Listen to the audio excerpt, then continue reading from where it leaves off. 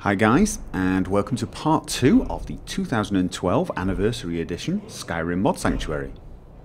Now you may have noticed in part 1 that the mods we were looking at tended to focus on performance and user interface, the sort of user experience. The modding community was definitely held back by the fact that the creation kit had not quite arrived, but even by the new year of 2012, I began to notice more and more mods coming out that added content or changed major things in the game, not just the user interface, not just performance, but the sort of things you would expect requiring the creation kit. Now, part 11 of Skyrim Mod Sanctuary is still one of my favourite um, parts because it signalled a shift. It signalled a change in direction, um, not just in the mods that were coming out, but in what I was looking for from the mods. Um, the first mod that it covered was the realistic water textures mod. Now, like quite a few mods for me, this is a mod that can actually ruin the game for you once you cannot have it. So if if you if you install this mod and you get used to it, if you uninstall it and go back to the vanilla game, you hate it. You hate the vanilla game. And this is one of those mods. The vanilla water is horrible. I mean, it really is quite atrocious. Uh, but I, I did not notice it until I had tried this mod out. Um, this mod really did make the water feel far more realistic um, and look a lot nicer. Now this mod is actually no longer um, current, so to speak. You can find a link on the page actually suggesting you to go to um, another mod called Water. And that mod has a lot more features, uh, a lot more options, things like um, changing the way the, the, water splashes, the rocks, the when they're wet. Um, I'm not even totally sure all the different options, uh, but it's a lot more current mod. I believe it was uh, rebuilt um, to be a lot uh, more stable, um, and it is the one I use and it's the one I would recommend. But still, the original mod was a massive leap forward. And the other mod that was covered in that video was the realistic lighting without post-processing. And this was a big deal for me, this mod. Um, it, it, one of my major gripes with Skyrim is the lighting. Uh, when playing out at night in the vanilla game, you can see for miles. The sky is a funny pale blue and they do desaturate everything and add a blue tint, but if you actually look in the distance, you can see as clearly as in the daytime. And the same is true if you go in dungeons. I mean, the dungeons were a little harder to see in, but in the vanilla game, you don't need a torch. You really don't need a torch anywhere. And this mod fixed that. I mean, those were the two major things for me. It made night dark, and you really needed either a night vision spell or a torch, and it made dungeons terrifying. I, I was taking a torch everywhere. I ended up getting very good at torch and sword combat, so I'd have a sword in one hand and torch in the other, and I would bash undead creatures and set fire to them, but I needed it to see because I didn't have night vision which is absolutely brilliant. It, it really does change the way you play the game. This is especially true if you play a stealth character, because of course you don't want to be carrying a torch and announcing where you are, but you can't see everyone and where they are, which makes it a lot more interesting. Um, it also made the game look nicer during the day.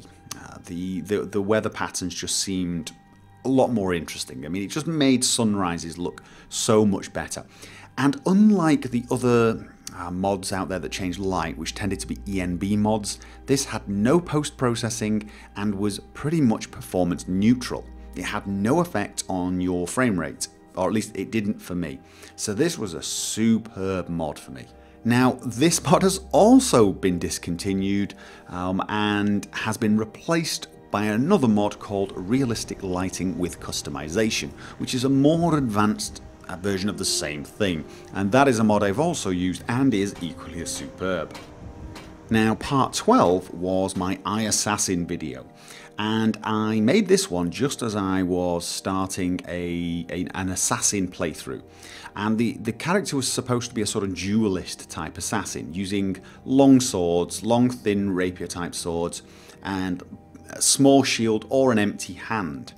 Um, unfortunately, in Skyrim, there's very little uh, benefit to using an empty hand, so I'd usually end up with a torch or a shield, but I hated the shield options. So the mods that I, um, I covered in this video were absolutely superb for me. Now the first mod was JaySuS Swords. Now JaySuS Swords is a mod that just adds loads of weapons. It's not just swords actually, it also adds axes, um, and they're really, really great. They're not just um, very fancy weapons, some of them are very basic weapons like woodchopper's axes, um, daggers. Um, but they're very believable weapons. They tend to be a lot thinner than the vanilla game weapons, which I like. So you get a lot of fencing type weapons, very, very elegant weapons. Even the two handed swords seemed more elegant but they weren't overly ornate or overly fancy. They really fit um, a Nordic environment very, very well indeed. And the second mod was the Bucklers mod. And this, this for me was a superb addition because it fixed the problem I had with the shields. It added the ability to craft buckler shields. Very small shields, traditionally I believe used by mounted warriors, people on horseback, but great for an assassin type character. Very small shields, especially the ebony shield. Uh, they, they're very out of the way, but they allow you to block. They don't give you quite as much uh, damage reduction as the big shields, which is good, but you can still block with them very, very well, and they look great. So I, I mean, I adored that mod. Now, the mod has actually grown and had a lot more different types of shields and even the ability to craft other armors. But for me, the core thing, the buckler shields, that was reason enough to get this mod installed. The third mod covered in that video was Arrowsmith Reupload, and basically just a mod that allowed you to craft arrows, because believe it or not, when the game first came out, you could not craft arrows, which was really annoying, and you'd, you'd have You'd have all this ebony in your backpack or wherever you kept it, but you couldn't make ebony arrows, and you'd always run out of arrows and end up using the weaker arrows. And it was so annoying. And this mod just let you craft, you know, you could craft, if you had the ebony for it, craft 150 ebony arrows and leave everything else behind and just use those arrows, which also look really good as well. Now, this mod is no longer needed if you're using the Dawnguard DLC. Um, actually, I'm not totally sure whether that's part of the Dawnguard DLC or was part of the patch that came with uh, Dawnguard. Actually, I'm not 100% sure about that. Perhaps you guys can tell me down, down below in the comments. But anyway, since that DLC, this mod's not really needed. And I also covered a mod called Better Archery Eagle Eye Perk. And it was just a simple mod that gave you more zoom when you use the Eagle Eye perk. And I quite liked that when using uh, when doing archery. I'm not completely sure I'd use that anymore. Um, it's uh, It was a little difficult to use archery close up when you had this perk because it zoomed in so much that it made, you know, if you were shooting someone at 5 and 6 meters, it was a little difficult. Now, part 13 was a video devoted to magic. Um, and I covered a lot of mods in that video. And I was very, I mean, I was amazed by these mods because again, the, at this point, at this video, we're still in January, the creation kit had not quite arrived. Now, the first mod covered was Balanced Magic. And I used this because I was doing a sort of a destruction based mage playthrough and destruction magic had issues, balance issues as you gained in levels. And so this mod was a great way of making destruction a little bit more viable as you got higher, higher in level. Um, however, I believe it's probably been superseded by one of the many other magic overhauls that's out there, including things like SkyRe, um, or um, Phenderix Magic, etc. So I, I actually used this for an entire playthrough and I loved it, but it's probably now not so applicable. The second mod was mage-friendly Dragon Priest masks, and this was a very simple mod that took the three Dragon Priest masks that were obviously aimed at um, wizards, magic users, and made them clothing. And the third mod, Warmer Magic Lights. This one was a godsend for me. Because I was using the uh, darker dungeons options in realistic lighting, for my mage playthrough especially, I wanted to use the candlelight spell. And I found the light to be very cold, very well, blue, and actually wasn't all that useful. It didn't give off that much light. And with the Warmer Magic Lights mod, it gave off far more light and it was a slightly nicer and warmer colour. Um, now, if you're using the Claralux mod, this mod may not be as useful because Claralux does actually make light sources give off more light anyway.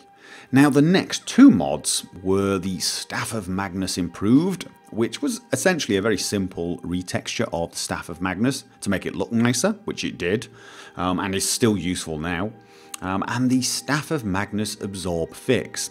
And what that did was fix, it depends on whether that word's the correct word to use, but it fixed the staff so it did in fact absorb Magicka and give it to you. Now there's a lot of argument as to whether or not the description actually meant that it absorbed it and gave it to you. Um, however, if it didn't, then it should have just damaged Magicka because that's all it did. And then that staff is very, very weak because there are staffs that, or staves that will damage uh, Magicka a lot more than the Staff of Magnus. If the Staff of Magnus is not actually absorbing it and giving it to you, it literally becomes a quest item only of very, very questionable use. So this mod makes it a powerful staff to have. Mod number 6, Deadly Spell Impacts. This was a mod that replaced the little impact marks you got from spells like flame spells, ice spells with far more realistic looking ones. Um, this, this is a great mod actually. And the last mod in that video was the Midas Magic spells in Skyrim. Now, a lot of us remember Midas Magic very, very fondly. Uh, those of you who played Oblivion and played a wizard almost certainly will have used the Midas Magic mod. And this was not a mod that just extended the existing spell types like fire and ice, it added loads of new types of spells. Uh, plasma damage spells, for example, or uh, gravity well spells. There were also some very interesting uh, spells to attack, but also some very useful spells, like the open spell. Um, now, this was a spell that was in Morrowind and Oblivion that would allow you to actually open locks uh, using magic rather than lockpicks, um, and I really miss that spell. But it also added a really unique way of actually getting these spells. Instead of finding them or buying them, what you actually had to do was craft the spells in this special magical device, and you needed a lot of ingredients. Uh, I, I, remember gold was uh, one of the key ingredients to all the spells, but it might be something like gold, a dwarven arrow, and something else, and that would make the open apprentice spell. That type of thing. And that was a really interesting idea, which really sort of helped make this mod stand out. All round, still a great mod, still well worth trying if you're doing a magic playthrough. Now, part 14 was a video I called A Wonderful World, and this video concentrated on mods that made the world look better, not by tweaking the lights, but actually making the physical world look better. And I started with the Enhanced Distant Terrain mod, and this was a very simple mod that improved textures of distant landscape. Um, and it's such a small mod, and yet it made big difference when looking off to the horizon. Still very useful, still worth getting. And for me, it had no performance drop, so well worth trying. The second mod in that video was Skyrim HD 2K Textures. Now this is a hugely popular mod still, um, and it, it was a massive improvement over the vanilla textures at the time. Now since this mod came out, there, there was a sort of high definition pack released by Bethesda themselves, which were basically the original textures only a lot higher definition. And they are an improvement over the, the old game. Uh, but if you're wondering whether it's still worth using Skyrim HD 2K textures, um, yeah, th those textures are actually better, generally speaking. They're, they do look a little higher definition to me. Um, some of them are a little bit more interesting as well. Um, they are different to the Bethesda vision though, so if you are a purist, using Bethesda's high definition textures is probably the way to go. Um, if you don't mind changing the look of a few things in only minor ways, then Skyrim HD 2K textures well worth using. And you can use it with the Bethesda HD textures. Um, it basically, if you use this mod, it will use those textures that it has got, and any that it doesn't, you'll just use the normal Bethesda HD textures. So, still worth trying, still worth uh, installing. The third mod in that video was Skyrim Flora Overhaul, or Vurt's as most of us know it. Um, I've used Vurt's mod in a few other games as well, and as soon as I saw it for Skyrim, I knew I was going to install it. It generally just makes the trees look higher definition, a little more interesting, and a little bit more varied as well and it was completely compatible with the lush grass and lush trees mod that I also covered in that video. And those are mods that basically just make the grass and the trees a little bit more voluminous. Um, they're a little taller they have a little thicker foliage and generally make the, the land look a little bit more vibrant. And with these mods installed you just began to get that feeling that your, your game was something just like a little step beyond Ultra. Um, it really, it really came home to you that your game was modded. If you looked at the game with all these mods running and then removed them and tried to play vanilla, it just was not the same. Now, part 15 was actually the first video I released after the creation kit. The creation kit came out um, the, like the first week of February, and this video came out just after it. Uh, but it covered two mods, two very, very good mods that had actually already been made way before. So these mods had actually been made without the creation kit as well. And the mods in question were the PISE, the PISA, I think it said, mod, and Deadly Dragons. Now, PISA was just a mod that made the game harder generally. It improved the AI, it it made the barter, the vendors, a little bit more difficult. They charged higher prices for things and gave you less money for things. And all in all, just made the game a little bit more hardcore and a little bit more interesting if you were, you know, if you were a fairly, if you were sort of skilled player who found the game too easy even at master. Um, this was a very good mod and I played with this for quite some time. Now there is actually a new version of the mod called Assis. Um, so PISA itself has actually been discontinued. Assis seems to be pretty, um, pretty popular. It's not quite as popular as some of the other overhaul mods, but it's still definitely one that looks worthy of checking out.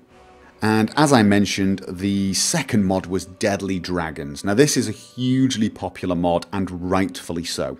This was this was the mod that basically pointed out what I think a lot of people realized but hadn't sort of vocalized. Um, dragons are disappointingly easy to kill in Skyrim. I mean, dragons are supposed to be tough. Let's face it, they're supposed to have dominated um, the land once upon a time. They herald the end of time.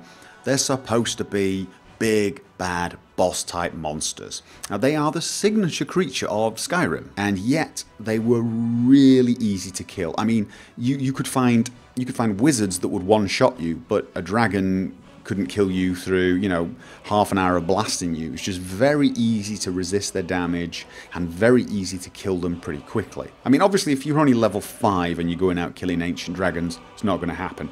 But I mean, this mod approached it with the attitude of you should be level 50 and still find dragons to be a challenge. I mean, they are dragons, for God's sake. They're supposed to be tough. And you shouldn't be finding three or four Whiterun guards killing a dragon. Dragons should terrorize entire cities. It should take a special type of um, player, a special type of hero the Dragonborn. But, you know, he needs to be a high-level Dragonborn with and use all of his skills and cunning.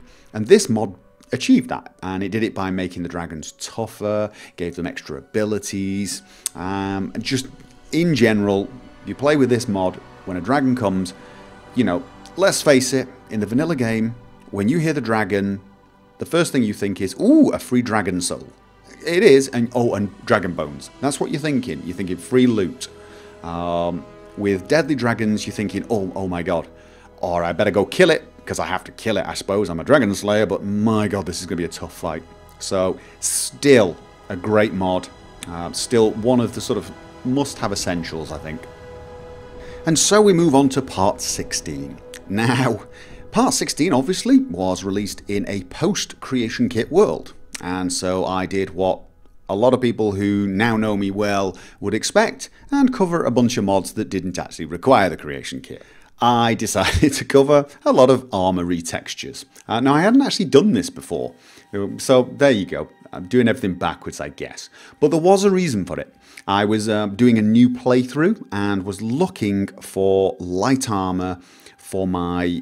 I had, was playing a mystical warrior, a warrior who used sword, board, light armor, and spells.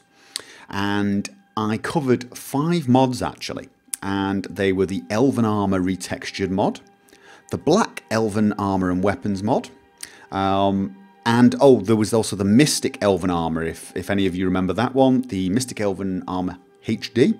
And so that was three mods that um, retextured Elven Armor, and they're very good. And if you want to see them, check out that um, that video.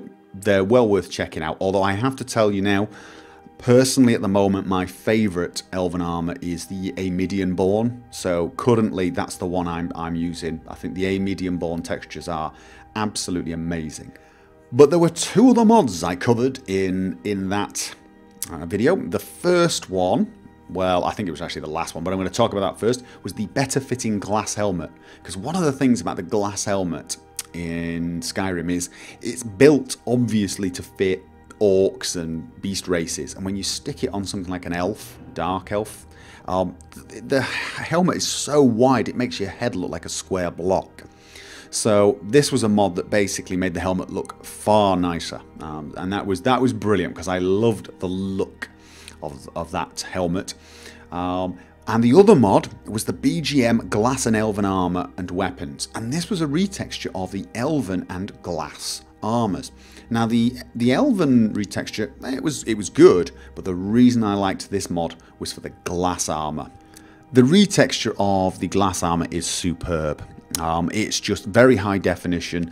The color scheme is just it's it works. For me it works. It's a lot darker. It's a lot more serious looking. I always found the glass armor in skyrim to be a tiny bit comical. It was too bright too light and somehow looked fake almost plasticky.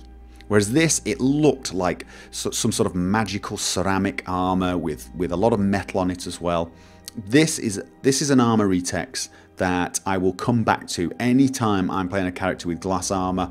This is the retext that I will come back to. And part 17. Now, part 17 was called Into the Mix for a good reason. It was just a mix of mods that had got my attention that week.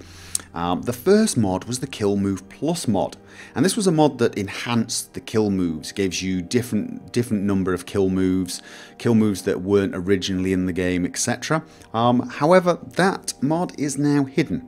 There are, of course, other mods that do the same. You can find them on Nexus, so, you know, I'm not sure why it's hidden, but there are alternatives. The second mod was auto-equip arrows, and this was a sort of little hidden gem for me um, in that it was one of the things that always annoyed me was whenever I switched to bow, you'd get your arrows popping up and then you'd switch back to your sword and your arrows would stay there. And if that was the look you were going for, that was great. But I, I was playing a duelist, one-handed sword, um, and wanted to have no arrows sticking out my back. I wanted the sort of the swordsman look, and I only ever drew my bow to, to get a dragon down to get him down on the ground, to get his attention. Um, so I was constantly having to go back and unequip the damn things so they didn't ruin my screenshots. I know, I know, I'm worried about things like that. A lot of people aren't, but hey. Um, and of course, there are actually mods that do the opposite of this and actually leave every weapon you use on, and that's a different look. And to be honest, I think my next character is going to go for that look. But this one, I wanted no arrows. Um, so this was a godsend mod for me. Masters of Death Rise of the Brotherhood. Now this was a good set of armour. This is very, very Assassin's Creed, um, but it had a set of armour called the Sicarius armour, and it also had a version of it for the Brotherhood. And it, you know, if you're playing the Brotherhood um, assassin. I mean, for me, the, the vanilla armor is appalling. I mean, I, I hate it.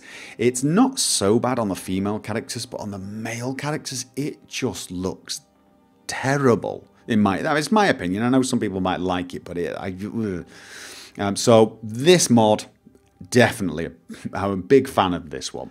And the fourth mod was the Static Mesh Improvement mod. Um, and this is a great mod. And it's one of the few mods out there that tries to improve the models of basically everyday objects tables, chairs, cupboards, and so on. And I mean, because I mean, you get a lot of things improving textures, you get a lot of mods that improve the models on very specific things like weapons or armor. But you know, it doesn't sound very sexy, does it? You know, I've made a better looking chair or a better looking wardrobe. But this mod does make those objects look a lot better. Um, and the mod author does have a very entertaining video as well. So that's one to check out. And still useful today, still a must have for me. And that was it for part 17. And in some ways, part 17 marks the end of a chapter in the story that is Skyrim's modding because as you're going to see in part 3 with the advent of the creation kit and the Steam Workshop we were going to get some serious hard hitting mods, some great mods and, as you'll find out, more than a little controversy.